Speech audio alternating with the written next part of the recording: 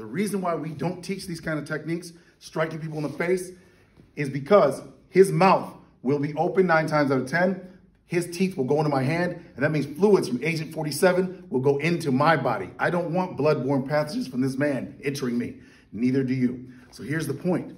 Detroit Urban Survival Training teaches you how to manage threats and create the best possible outcome to increase your survivability without creating injuries, which creates lawsuits and other legal problems.